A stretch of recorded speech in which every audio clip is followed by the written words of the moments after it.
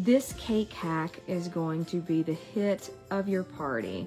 If you want to make multiple different cakes, but you want to have less work, you could do them all in one sheet pan. We accomplish that by using some aluminum foil to divide the three different cakes. We've got a funfetti cake, a red velvet cake, and a chocolate cake. Then the great thing is you can top them with whatever icing and decorations that you want. I used M&Ms on one, sprinkles on this one, and those cool stencils are going to allow us to create a design with powdered sugar. I can't wait for you to see how cool this turned out. Let me know in the comments if you're going to try this.